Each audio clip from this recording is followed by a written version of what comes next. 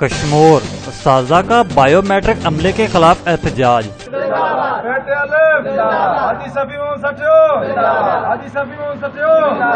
Bio matric نظام درست کیوں آدھی وجن بایو میٹرک نظام میں۔ بایو میٹرک نظام میں۔ بایو میٹرک نظام میں اب بایو میٹرک نظام کی بدلی کے دلے خطا دے دو بایو میٹرک سخت نعرے بازی بھی کی۔ پریس کلب کشمور کے سامنے۔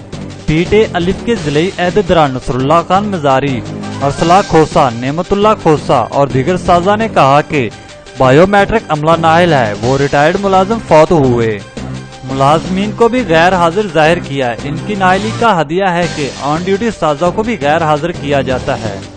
احتجاج کرنے والے سازا کا کہنا تھا کہ ڈیوٹی کرنے کے باوجود ہمیں غیر حاضر کیا جاتا ہے اور اگر ہمارا ٹرانسفر کیا جاتا ہے تو وہ ٹرانسفر کنفرمیشن کے بیس ہزار کی ڈیمانڈ کرتے ہیں۔